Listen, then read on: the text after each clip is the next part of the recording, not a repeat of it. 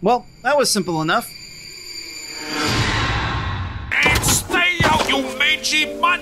Next time I see you trying to steal food from my restaurant, I'll slice you up and serve you to the patrons!